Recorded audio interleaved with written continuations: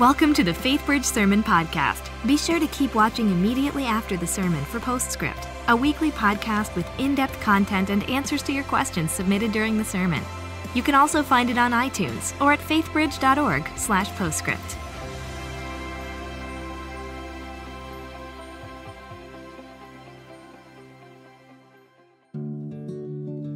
My name is Megan Galashaw. I've been attending FaithBridge for three years. I think I jumped in at FaithBridge pretty slow, pretty hesitant. Um, I think I did it all backwards.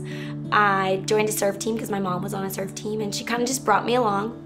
And then a year later, I took FaithBridge 101. I think I was hesitant about joining a grow group just because I had been in Bible studies before and I never really found that I fit in. But I was just at that point in my life where I'm just gonna do everything new, God, because I wanna see your power. And so I even remember driving to our grow group and praying and saying, Lord, this is so out of my comfort zone, and everything in me just doesn't wanna show up and doesn't wanna walk through that door. But there was something about our grow group, and I would like to believe that all grow groups are like this at FaithBridge, where I walked in the door and people greeted me and carried on conversations and asked me about my life, and it felt comfortable and it wasn't scary despite all the fears and ideas that I had about a grow group. And it just felt like I belonged.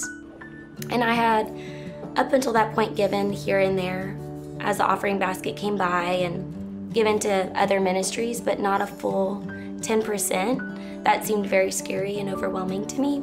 But I think that if it didn't make me uncomfortable to do it, that would mean it's easy and it wouldn't require faith. And I started looking at things differently. I thought, I only have a job because the Lord has given me a job, and um, I'm able to work because the Lord's blessed me with health.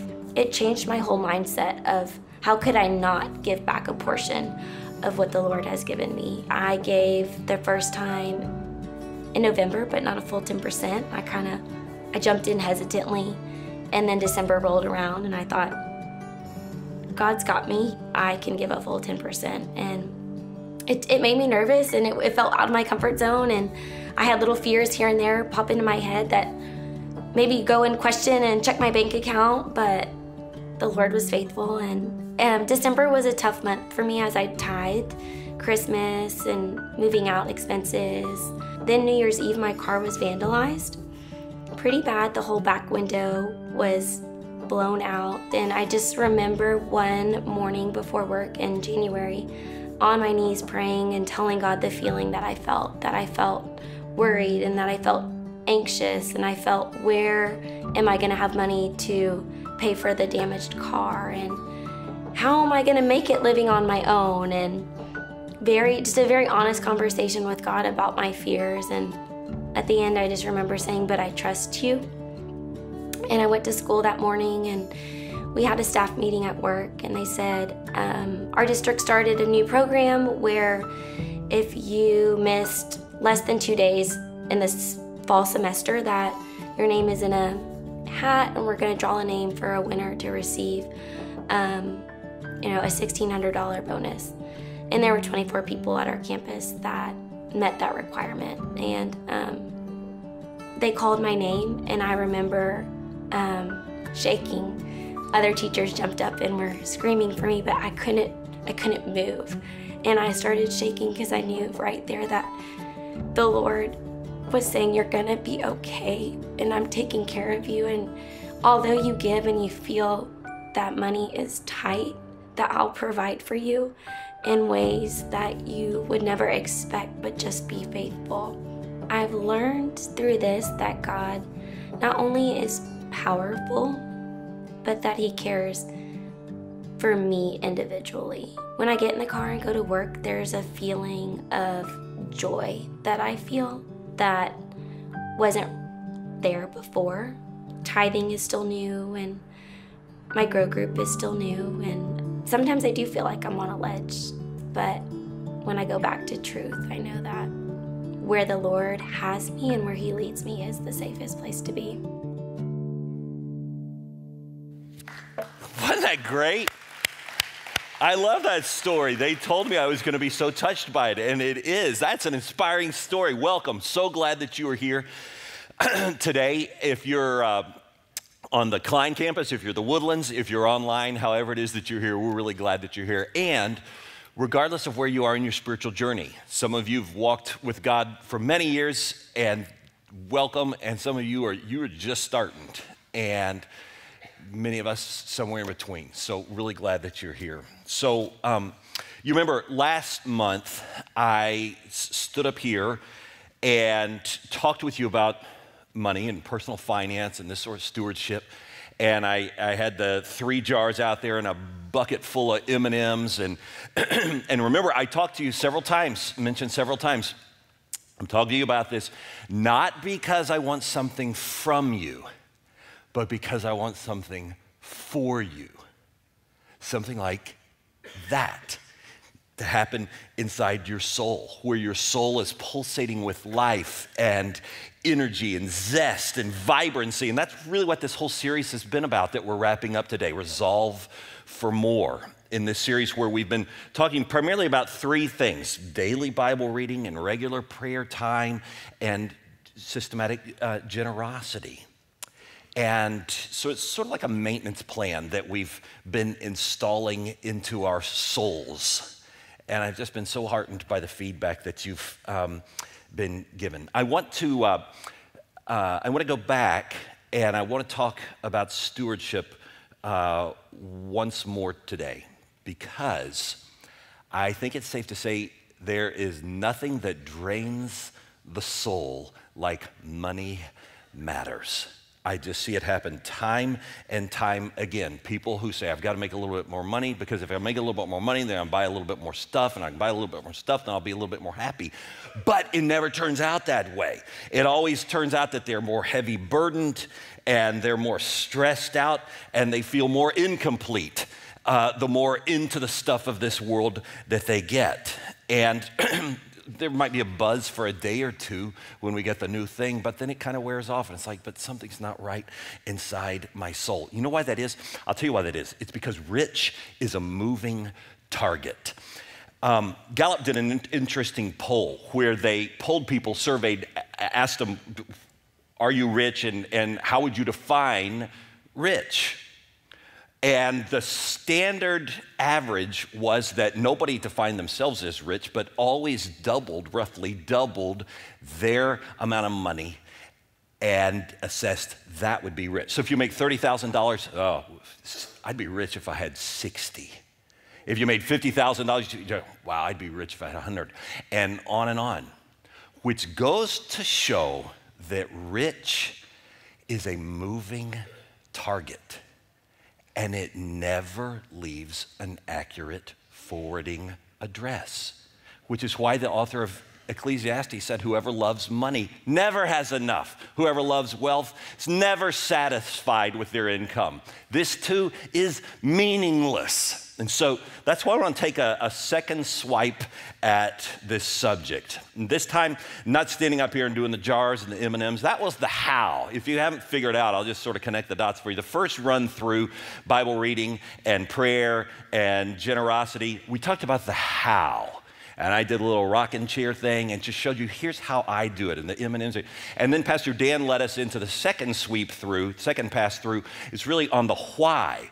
Why would I want to read the Bible? Which, if you didn't hear that last week, you really need to hear that one. That was so good.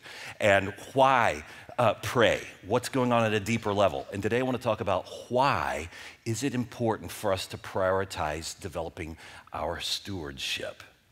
In a nutshell, Jesus talked a lot about it.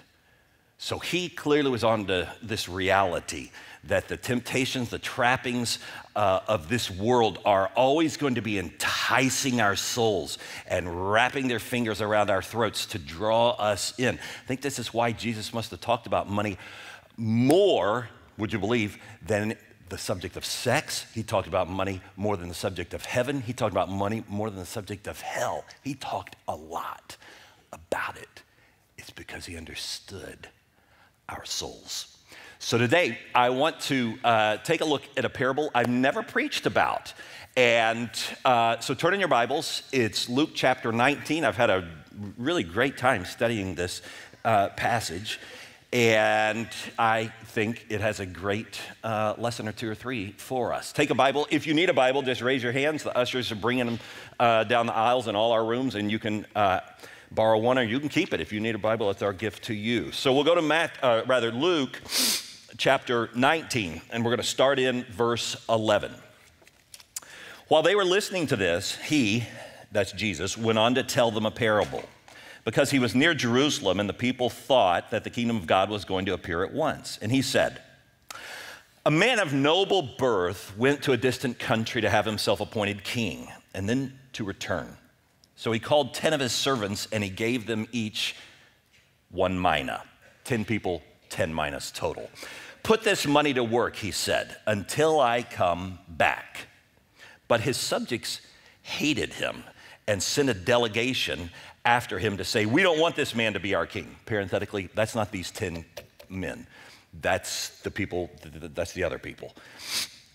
But he was made king, verse 15, and he returned home. And then he sent for the 10 servants to whom he had given the money in order to find out what they had gained with it. The first one came in and said, Sir, your mina has earned 10 more.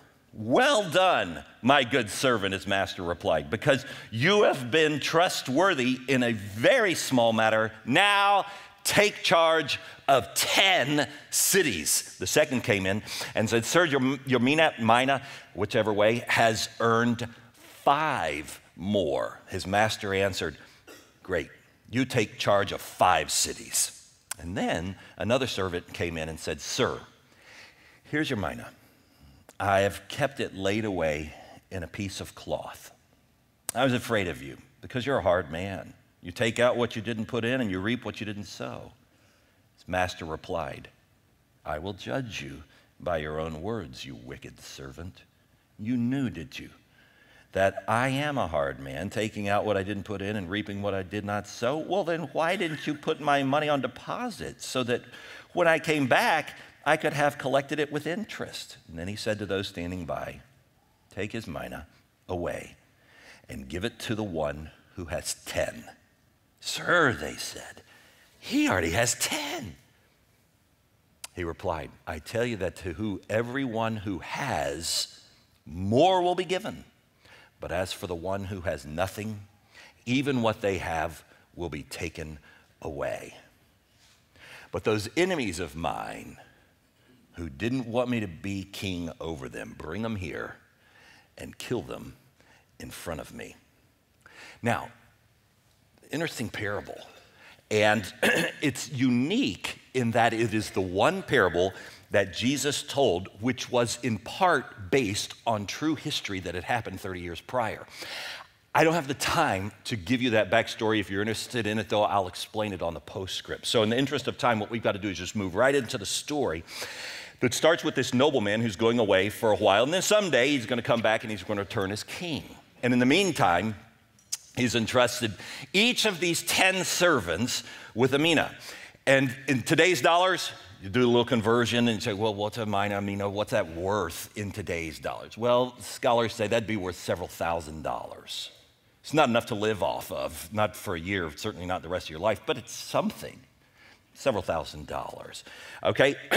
and what does he say? In verse 13, he says, Now, while I'm gone, I want you to put this money to work. I want you to multiply it. Don't play with it. I want you to steward it. Don't squander it. And so that when I return someday, I can reward you for how you've stewarded the mina that I entrusted to your care while I was gone. So, two of the 10 servants, they did really awesome. First one comes in, says, Hey, I got you tenfold return on the mina that you left me. And he's like, That is awesome. Since you could take such good care of that, I'm going to entrust now stewarding 10 cities in my kingdom. You're now in charge of them. And he goes out. The next one comes in. He says, I got you fivefold return. He said, That's awesome. I'm going to give you charge of five cities in my kingdom. Incidentally, you needn't compare the five with the 10 as if, well, he did you know so much better than him and he didn't really you know do his best no no no i think what he's saying clearly here is they were both achieving according to the capacity that God had given them. He gives us all different capacity, right? Don't focus on that. It's the third servant that you have to move your focus to. The third servant steps in and he reaches into his pocket, and you just picture him pulling out this old sweaty handkerchief, and he unfolds the handkerchief and he pulls out the mina that the man had left in his charge. And he says, Here's, here's your mina back. I, I didn't do anything significant with it. The king is quizzical. He's like, What? I gave you the same blessing as all the others, and you just shoved it in your pocket and you didn't care to do anything significant with it while I had left you in charge of it? What, you, would you think I was never coming back? Did you not take me seriously? You not think this really mattered? To which the, the, the servant, he's like, oh, no, no, no, oh, oh, oh, he protests. That's not it. I, I, I, I knew, I knew that you're a harsh man, that you're a mean man. You reap where you've never sown before. And so, out of deep respect, that's it, out of deep respect for you, I didn't do anything with your mina. And the king clearly sees through this. You didn't have any interest in me whatsoever. I can look right through to your heart despite your words. He says, What do you mean I'm mean and harsh? In the first place, hadn't you ever thought about the fact I gave you that mina? I, I gave it to you. It was my gift of grace. You didn't earn it. I entrusted it to you because I am gracious. And oh, yeah, by the way, did it never dawn on you while I was gone all those months that you had shelter, that you slept under, and warmth at nighttime, and you ate three squares while I was gone here? Did it never occur to you I was providing all of that for you? What do you mean I'm mean and harsh? At the very least, you could have just gone down to the lender's table, that'd be like our bank today. You could have gone down to the lender's table and at least turned it into a CD and got a paltry 1% or 1.5 or maybe 2% for it. But you didn't even bother to do that much. You just shoved it in your pocket despite all of this. And so he leans over and he takes the mina away from that servant and he gives it to the one with 10 and he exacts justice on this servant and on everybody else who refused to yield to his lordship. So it is not really a happy ending for some of the people, but it's a really happy ending for a couple of them. Now, what I want to do is I want to draw out three principles that we have to make sure we've captured uh, to understand uh, this parable. To, before we pull out the three, let's make sure we understand what symbolizes what, okay? Because in Jesus' parable, you always have to figure out, okay, so who is Jesus and who is me and, and, and, and all this, okay? Let's make sure we understand. The nobleman who goes away for a while and comes back, that represents Jesus, who knew when he was telling the story, I'm going to go away to heaven, but then someday I'm going to come back. I'm the King of Kings. And so I'm not going away forever. I will be back. He's the nobleman. The servants, though, that's those of us who have professed our faith in Jesus, who've said, I'm, I'm a follower of Jesus. I belong to him.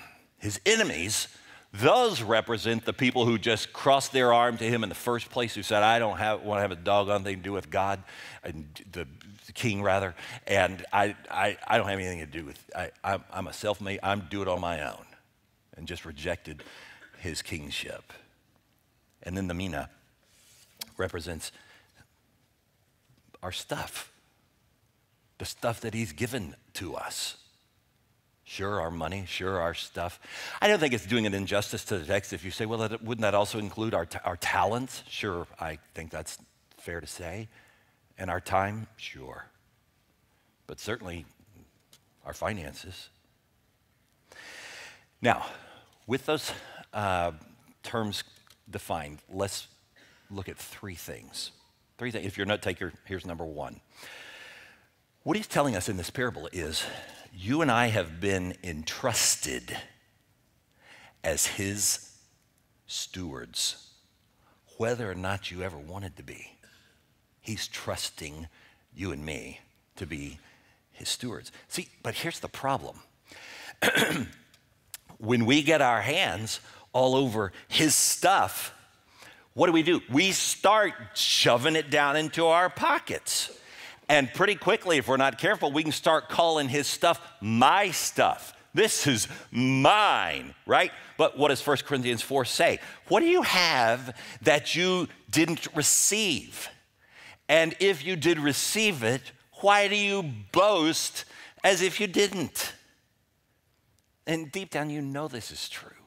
All of us deep down, we, even if you're the quintessential self made man or the self made woman, you know, if you're honest, really honest, you know, if everything was removed from you that had been taught to you by other people, if God removed from you all the natural abilities and talents and the sharpness of your mind that you enjoy, if all that was removed, you'd be a zero.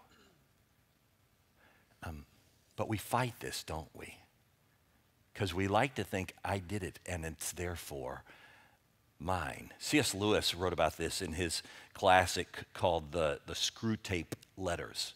Great book in which uh, he characterized, fiction of course, he, he, he's characterizing how it might be for this senior demon whose name is Screwtape. And he's advising or he's coaching this junior demon who is his nephew called Wormwood. And it kind of lets you in the mind, uh, so to speak, of, of the enemy.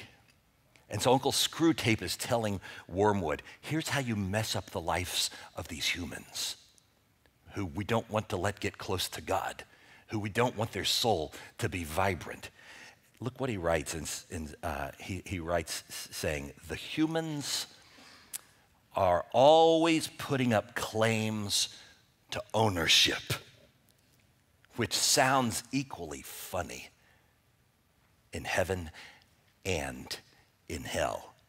Because the moment the humans die, they then discover how much of their stuff was really ever theirs. John D. Rockefeller was one of the wealthiest men who ever lived. And when he died, somebody asked his accountant, So, how much did John D. leave? And the accountant said, All of it. He left all of it.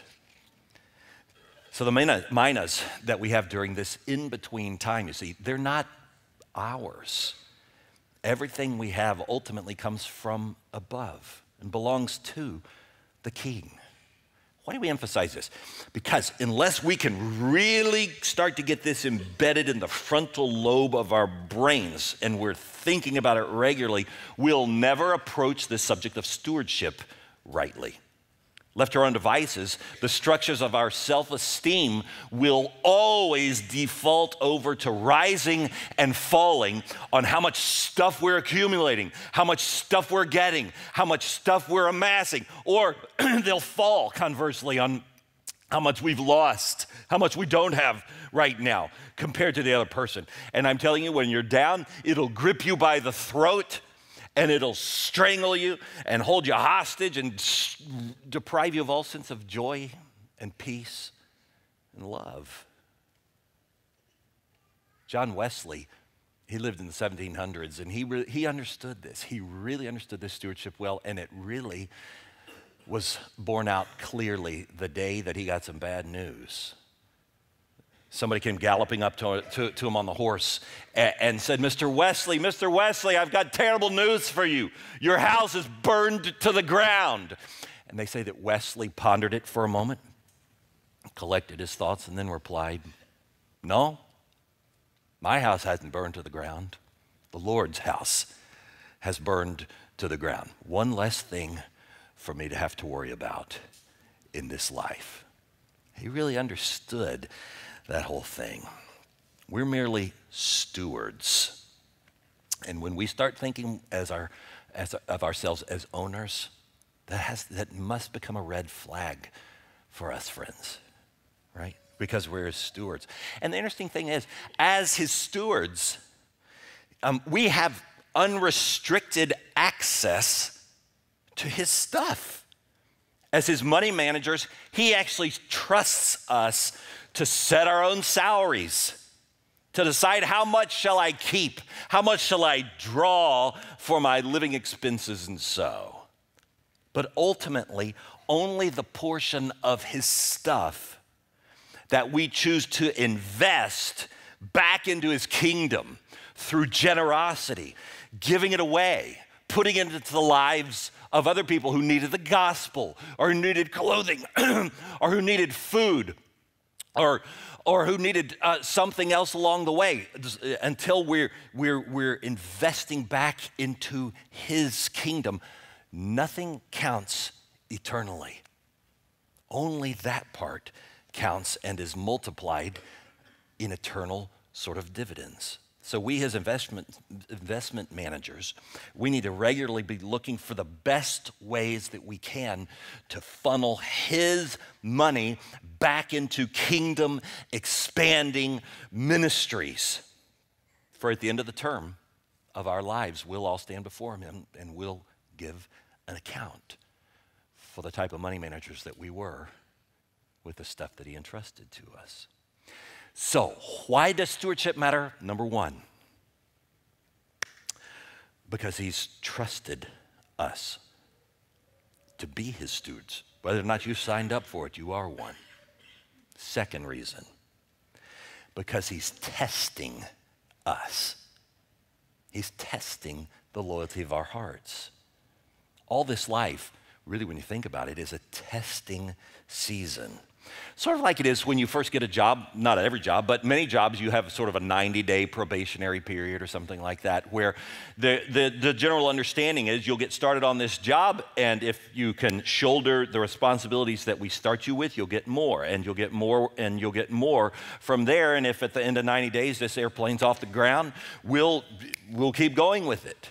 If, on the other hand, you can't shoulder even this much and you start breaking down and say, we'll, at the end of 90 days, we'll know this wasn't a fit. And that way you can be freed up for your future and you can move on, right? Well, similarly, in this parable, what he's telling us is um, we are sort of in a probationary period. He's testing the loyalty of our hearts um, in this lifetime. And so he entrusts to us some of his stuff. Now, in this parable, notice he didn't entrust to them large amounts. He didn't give them tens or hundreds of thousands of or millions of that. No, no, he just gave them several thousand dollars, right? Enough to serve as a test. It was enough to put those servants on their honor. And if they were really attached to the master, the king, they would live up to the honor to which he was calling them. And those who were faithful with this little could later be entrusted with a lot.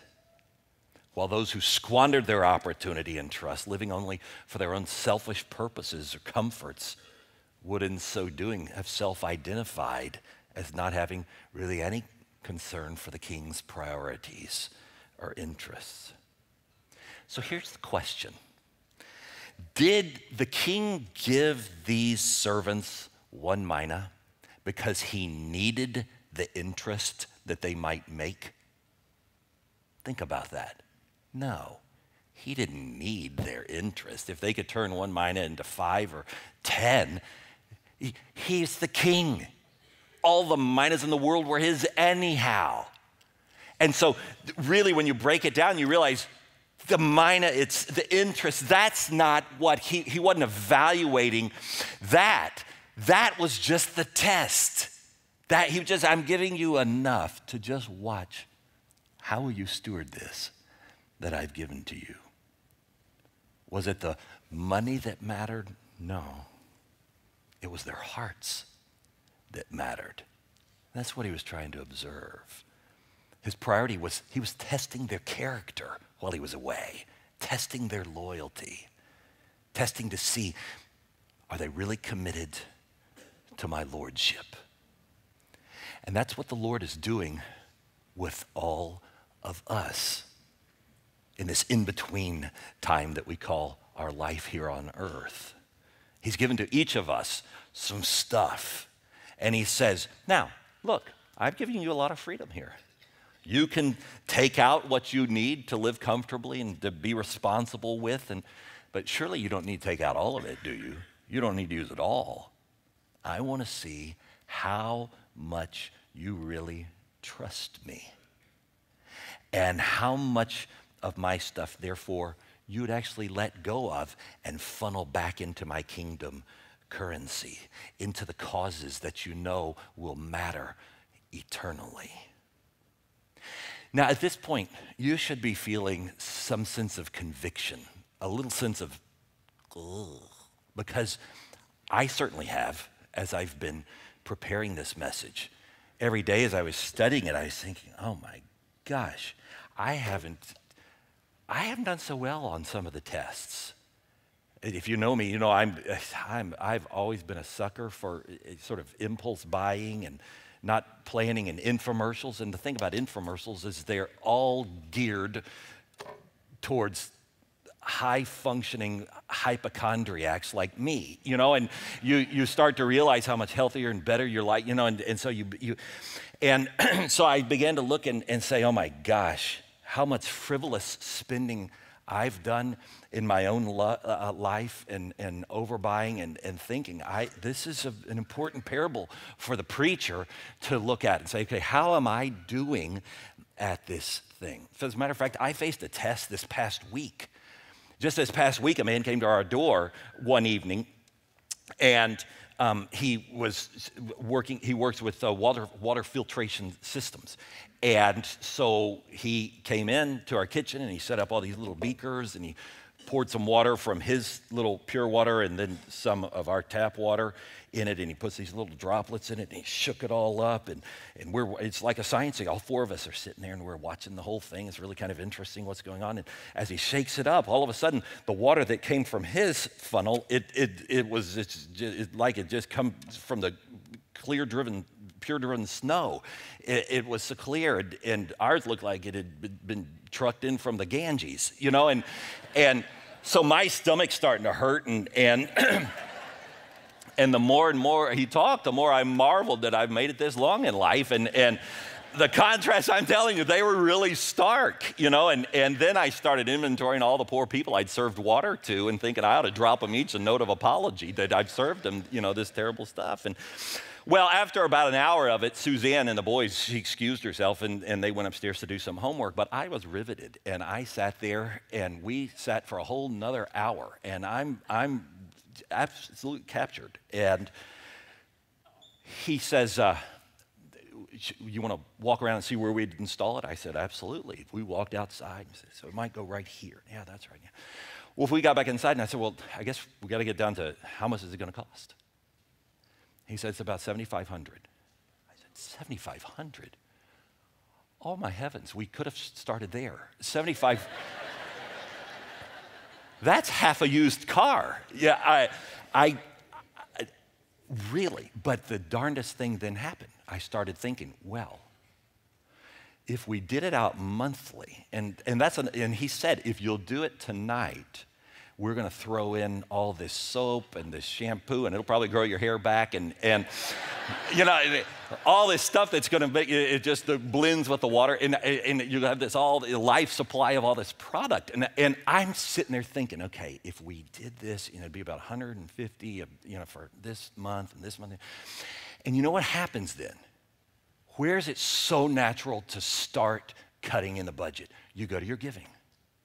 You know, well, you know, December was a pretty good month around church after all. You know, I think I could take off a month or two and that would be, you know, and you start doing this and you kind of think of it, that kid that we support with compassion, he never sends us letters like the other one sends us letters. You know, it's, you know, and, and, and so I'm actually, you know, it's, it's so tempting, isn't it? Uh, you're laughing because you can relate, I think, or else you're just laughing at me. But anyhow, I hope you're laughing with me. And so, you know, I'm going through this whole process, and, and then in a moment of crystal clarity. I heard the voice of the Lord. And a voice of the Lord said, What are you preaching on this Sunday? I was like, I'm preaching on stewardship. What a silly thing that I'm sitting here actually thinking about this. Because how will I want to stand up before the Lord someday when He comes back and say, I took my water that had served me well enough and I made it even better. And meanwhile, I skimped out on the things that you were doing and, you know, a lot of the offerings that come through the ministries of FaithBridge go to such ministries that do water wells for people. And we even send out teams. And how are you going to stand before the Lord, I'm thinking, and tell him, you know, I know that there's people over there and they don't have any water at all. They got to walk for hours and sometimes a day with big pots on their head to get fresh water. And, you know, but it's about my world. It's about my water. I need that water. You know, and how am I going to explain that to the king someday? And as clarity finally dawned on me, I said to the guy, I said, I'm sorry. I can't do it. I feel badly if you, you, you did this for two hours, and I really, this was fascinating, but I, I can't do it. And I walked him to the door, and I felt sad for him because I thought that was a bad night for him. he wasted two hours on me. But as I closed the door, I felt heaven smile because I felt like I got, I got that test right. Sat down with the family and we talked about it together. Um, so, how are you doing on your own test? Incidentally, the, I hope that you don't go out of here saying, okay, so the point of the story is we don't have a water filtration system, okay? Because I know any number of you do. And if you do, you ought to bring me a thermos of your fresh water from time to time. But here's, here's, here's the point of that story. The point of that story is this. The, the question I want you to ask is the question I've been asking myself. Do you ever wrestle before you just spend? Do you ever run it through any filter? Do you ever think about a parable like this and say, okay, well, how is this how the Lord would want me to spend his money? And is this something I'll be able to stand tall before him someday and say, and this is what I did with your money? So for you, it might not be a water filtration, but for you, some of you, it might be, you know, a second home or a third car or a 15th pair of shoes or a new iPhone or a new iPhone case. For some of you who are just hoarders, you're like, well, I'm not interested in any of those things. I just stuff it all in. Well, maybe the challenge for you is are you freeing up enough, not going without enough, but just freeing up enough of what you've stockpiled into his currency? And so, the point of the story, the point of Jesus' story, is this has everything to do with the test that every single day is providing for us to be good stewards of his stuff. All right, so that's the second thing. He's trusting us and he's testing us. Last thing our effective stewardship in this life is going to be revealed eternally. It's going to have something to do with eternal rewards. Remember what Jesus said? Go back to Matthew 6. You know, I'm turning there, but I'll just read it to you. Do not store up for yourselves treasures here on earth. Why?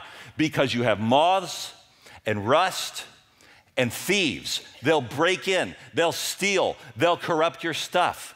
So, you, why in the world would you stockpile more stuff here on earth? Instead, he said, store up for yourselves treasures in heaven. Why? No moths, no rust, no thieves. Can't go wrong if you invest it, if you funnel it, if you channel it into kingdom economy, kingdom currency, pushing back the darkness, feeding poor people, digging water, all the stuff that he calls to be generous. You cannot go wrong if you're putting it there. He's saying, Randy Alcorn illustrates this really well in one of his books. He said, Suppose that you were living in the days of the Civil War uh, particularly in the last days of the Civil War. So that'd be 1865. And suppose you're in the South and you have tons of, of Southern currents, Confederate currency. And, but you can see the writings on the wall. You see where this is going to end. the South is not going to win. The Union is going to be preserved. The states are going to be reunited. My currency is going to be worthless the day that happens, this Confederate currency. Randy Alcorn writes What would you do if you were that person and you had tons of Confederate currency? You would quickly start to convert it then, right? You would start to convert it into Union, US currency. Why? Because when it's over, it's worthless. In fact, he says, you just keep enough of the Confederate currency to get you through a few days or a few weeks or a month until, until it's useless anymore. And in a real way, that's what he's saying the test of this life is for us. It's the opportunity for us to be converting into heaven's currency the stuff that he has given to us and there will be reward. And we don't understand exactly how does that happen, but somehow we see from the parable he can take one and 10 and then 10 cities. You're, so there's clearly reward that will come. And besides the reward, there's joy that will come. Imagine if you were to give to a ministry like Love 146. That's another ministry that we funnel money through here at Faith Bridge that's a ministry that uh, tries to intercept and help and free victims of, of, slave, of, of trafficking, right? Boys and girls who've been trafficked and sold as slaves. And just imagine if some of that money that you channeled into kingdom currency um, resulted in the freedom of some boys and girls. Not just freedom in this life, in this world, but eternally, they were liberated. They met Jesus and they came to know and trust in Jesus. Imagine that you'll be in heaven, they'll be in heaven, you'll be, we'll all get to be reunited, and they'll be able to say, It was your gift that did for me what I so needed, without which I would have not been free on earth, and I certainly wouldn't have come to know Jesus eternally. Thank you for your generosity. And so you see, it really matters, the Lord is saying. And so that's why, friends, we regularly around here do emphasize responsible stewardship, not sporadic, uh, spontaneous giving, but systematic, um, uh, calculated, prioritized, percentage giving. One of the best ways I found to do it is just to do it automatically so that every week, every Monday morning, I look at my account and my offering went out that week. That I'm not even test, tempted, right? There's just a systemization to it that happens. So, why does stewardship matter? Jesus tells us in this story three reasons. Why stewardship? Because he's trusting you and me. Whether or not you asked to be trusted, he is trusting you. He's testing you and me. And in the end, apparently it really is going to matter when our King someday returns for us. Let's pray. Lord, thank you for the, the words that you give to us, that give us guidance in our lives. Forgive us, Lord, for how often we flounder about just like a balloon getting blown here and there in the wind and not being tethered to anything. But then we come back to a story like this, a passage like this, where Jesus talked about this so clearly.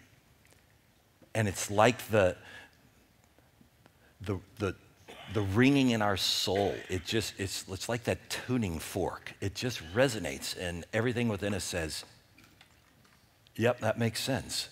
I don't know how I couldn't have seen that day in and day out. But we get distracted, Lord, and we take our eyes off and forgive us for the many times we've fallen short. But Lord, my prayer today is not that any of us would leave feeling like failures or defeats, but that we would leave feeling inspired called and realizing we're called to a higher level.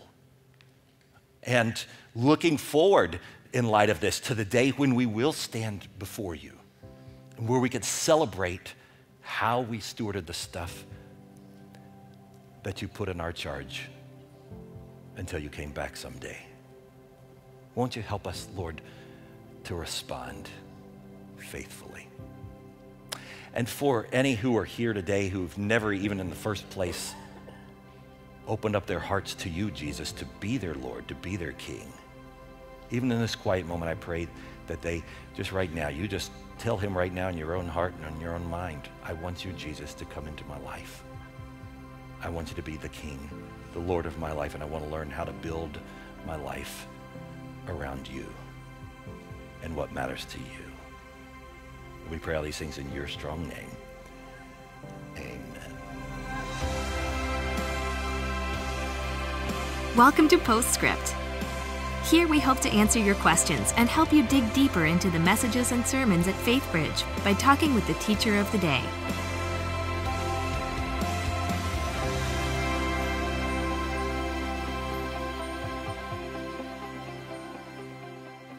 Welcome to Postscript. I'm Lou Ann Riley, Grow Group and Discipleship Director, and I'm here with Pastor Ken, who just brought our final part of Resolve for More Transforming Stewardship. Welcome, Pastor Ken. Thanks. This has been such a great series, and I love how we've moved from how we read the Bible and how we uh, steward, Pray, pray, and give and our money, and now we've really moved into the why. Um, and so this week we talked about the why being that we are all stewards of God's money. Yeah. Um, everything that He is, we have, it's Yeah. because He gave it to us. Um, and so you talked about a parable, Mm-hmm. um, and you mentioned that you were going to kind of give us a little bit more history and yeah, some more of the parable. Really interesting. So, scholars point out in the commentaries that arguably more than any other parable that Jesus told, where you, you you're sure that he was preaching relevant stories that people could relate to, but you know they could relate to this one because 30 years prior to his telling this story, um, you had a situation where Herod the Great, you remember Herod the Great's the one who had the baby boys killed who are age two and When under, right when Jesus was is born. born. So he dies and he leaves the kingdom to his three sons. So you've got Herod Antipas, uh, Herod Philip, and Archelaus. And Archelaus is the one to whom he bequeathed the region of Judea. That's where Jesus is going to do his ministry. And but the interesting thing about um, the succession of leaders in those days in the Roman world was that just because Herod left his region to those three sons didn't mean it was ratified yet. So they would take over at his death, but then sometime in the next in the first year, each of them would have to take a trip to Rome to meet with Caesar Augustus, who would ratify and officialize that leader's kingship. Okay. The interesting thing about Archelaus is that they didn't, the people did not like him. Hmm. And so they sent a, a group of 50 emissaries who, who go and they're trying to get to Caesar Augustus and say, do not make this guy our king. Do not make this guy our king. And um, so Caesar Augustus kind of has a compromise and he says, well, okay, you're not the most popular guy, so I'm not going to make you the king, but you will be the ruler, but I'm not going to call you king. And we'll just stay in touch and we'll just kind of see how this goes. Well, he came back, and what do you think he did to the people who didn't like him? Oh. Yeah, exactly. And um, so it's interesting that Jesus, right there in that region, knows instantly when he t- uh, uh, a nobleman went off to become a king they're instantly going i know this story but of course he's going to give it new meaning because this time um, he is the nobleman he's going to go off he's going to go to heaven he's going to come back he's going to be the king um, and on the one hand, he's going to be so gracious. He's going to entrust the people. So this is where the, the story pulls away from uh, the history. He's going to show a lot of grace and um, favor to everybody and leave the minas in their charge and, and this sort of thing. Take care of them and feed them and everything while they're gone. But we also know from plenty of other places there's going to be a day, of, uh, a day of accounting. And for those who always said, I don't care one whit about Jesus, I don't want to have a Lord, I don't need a Savior, I'm my own person, we know that person's headed into a Christless eternity. And so, in that regard, the parable is, is very literal. It's like, okay, Okay, it's interesting that you say that because we did have a question that comes in that says, if the king is Jesus, then mm-hmm. how do we reconcile the harshness mm. that we see? Yeah. Well, so uh, I think the reality that we have to look at throughout the Gospels is that all of us deserve harshness. Mm-hmm. All of us deserve consequence and, and uh, judgment and damnation and all because why? All of us have sinned and all of us have fallen short of God's glory and everything. But for those of us uh, who would, he's offered a way that we might receive grace and that we might be saved so that we don't have to be judged for our sins and uh, our uh, consequences and all. So, um, in that regard, the, the coin has two sides. Sure, he'll be he's going to be harsh to the person who never chose him as Lord, who never chose him as King, who never took him as Savior but he's incredibly gracious, graceful to those who say, No, I'm with you and I'm going to follow you. Good. Okay, so whenever we talk about stewardship, we talk about uh, generosity. There's always a question that comes in that I think is a common struggle for people. Um, when your spouse is not on the same page with you, it says uh, we are married on earth, but when we get to heaven, we're not. Yeah, right. And so, how do we reconcile when maybe we're not on the same page as our spouse as to how much to give or what to give? Sure. Well, I think uh, the, the scripture that you referenced is uh, absolutely relevant, but, but not so much relevant here and now, because that's going to be relevant when we get there. We won't take uh, or be taken in marriage on that side um, of heaven. But on this side, we are. And so I always, with this type of question, think back to uh, the letter that Peter wrote to the Christians, to the early church. Remember, they're being persecuted, they're suffering. Some of them were becoming followers of Jesus, and so they're sending questions back to Peter. And some of the women, in particular, were becoming Christians, and they're saying, hey, now I'm a believer, and I trust the Lord, and He's my Savior. And so it is well with my soul, but it ain't well with this dude I'm married to because he's not in, interested at all. Could we, uh, could I drop him and g- go check out the Christian youth group, I mean, singles group, and try to m- meet a nice new Christian guy? Who already loves Jesus. That's right. And try it again. And Peter's going to write back in 1 Peter 3 1. No, wives, in the same way, I want you to submit yourselves to your own husbands. Why? So that they might be won over without words by your behavior.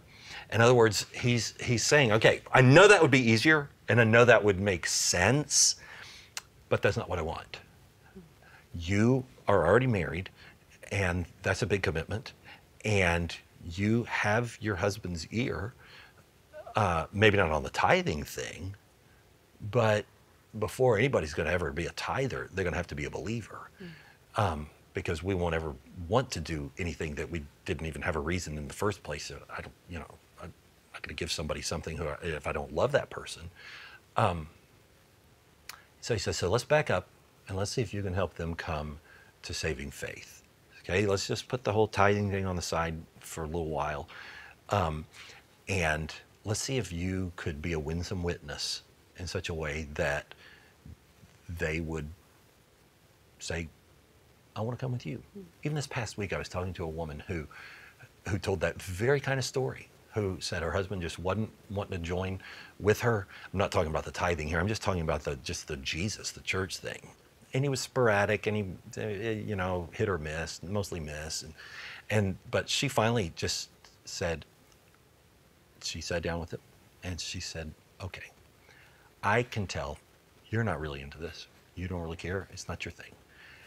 And I respect that. But I'm going to ask you to respect that I do love the Lord and I'm going to go to church. That's just going to be something I'm going to do. You don't have to go with me anymore. I'm not going to make you feel guilty or anything. But I want to go. So I'm going to get up and I'm going to go. And I'm going to have my own relationship with the Lord. And I said, So what happened? She said, The strangest thing happened. He, after a little while that day, he said, I think I'll go with you. And I said, So now what? She said, Now good things are happening in his soul. So I was like, Well, look at that. So you got to back up. Let's set the money thing aside and let's work on the person's soul. Once a person's soul has come alive and they love the Lord, and then they'll start to love the things that the Lord loves, then the generosity um, will follow. That said, I do have a, a, a, sort of a parenthetical caveat. I think of um, several people that I've had meaningful conversations with, some in this church, some not, um, who have explained to me here's how we do it in our marriage. Okay, how do you do it? They tell, I ask. Well, I've said to my husband, or occasionally, not as much, but occasionally, it's the husband and the wife going the opposite direction. Um, I've said to my spouse, um, the way that we do our budgeting, I'm entrusted with this percentage or this allowance um, to do the food or to do the bills or you know whatever it is. And so with that percentage of our income, or for some people it's their own personal check. I we both work, and so with my portion of my check, you know, it can be either which way. That person says, "I'm I'm going to be faithful in generosity. I'm going to tithe, not on your money, mm-hmm. but on, on my portion." and you're still going to have food on the table and i'm going to trust god to, to multiply it and to make it all work out and i'll have kids shoes for the kids and this sort of thing and, and if it's a two income family uh, the same applies but i'm going to do this on, on the portion of the money that i'm in charge of how does that go well generally it goes very well mm. Uh, again i think it has a lot to do with the winsome spouse mm-hmm. who's not clobbering with guilt their spouse over it but just doing it quietly and winsomely. And then the, the non believing spouse sees that and says, Well, I could argue, argue, make a, much of a fuss about that. Good.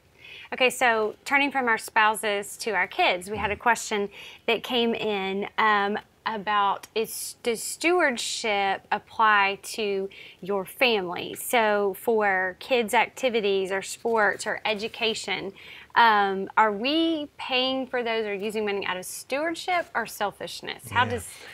Yeah, I don't know. And you hesitate to. Yeah, I mean, I guess we'll find out when we stand before the Lord uh, what counted as, as generous stewardship, um, and what was multiplied in the minas, uh, and what didn't. Um, I think there's two ways to look at it on the one hand, I think of 1 Timothy 5 8 that says, Anybody who does not provide for their relatives, and especially for their own household, has denied the faith and is worse than an unbeliever. Well, now that's a pretty strong word. Mm. So that tells me, okay, you, we must be stewarding our money in such a way as to be providing for our families. And um, certainly, uh, in the context of Timothy, perhaps it had to do with taking care of the older parents and but I don't think it it doesn't mean take care of the younger children as well. You got to be providing for them. They can't provide for themselves either with the shoes and the clothes and and you know some of the things. I think this is where we just have to have an honest conversation with the Lord, like I tried to illustrate in a somewhat silly way the whole conversation I found myself in just this past week with the water thing and just where you know every week we're saying okay lord is this a need that my mm-hmm. child has i want to provide for their needs or is this a superfluous want mm-hmm. that the child doesn't really need i don't really need to to provide for them and in fact too much of that makes the child spoiled and it gets us all out of whack and I don't want to do that. So, Lord, what is the right thing? And this is where community can help us, mm-hmm. where when you have a brother or a sister or two or three that you trust and that you're honest with, that- where you can just say, hey, you know, I'm trying to navigate. Is this the right thing to do with God's money? Or am I just buying into the system of the world and going above and beyond and overboard? Speak truth to me. What do, what do you think in your in your own soul?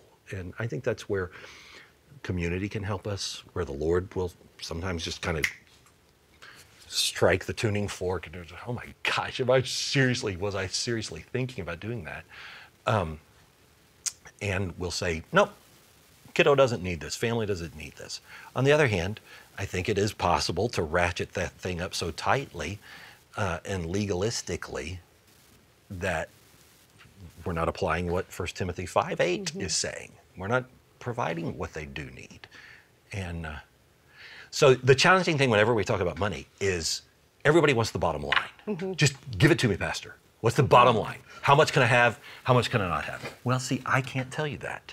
Because if I could tell you that, then there would be no faith required in your own walk with the Lord. There would be no relationship between you and Him where you're communicating and you're you're learning to trust Him more, like that very touching video that Megan did.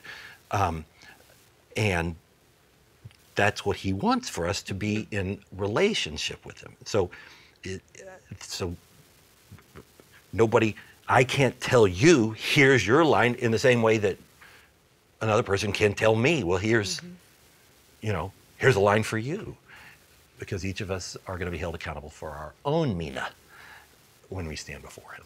Well, I um, really enjoy the message, and I feel like when we begin to change our perception of who we are and how we're entrusted with our time and our resources, and our gifts and our money, all of it from the Lord, it begins to change our, our Mm-hmm. Really does. hearts and our Yeah. perspective, and that overflows in all areas of our lives. So.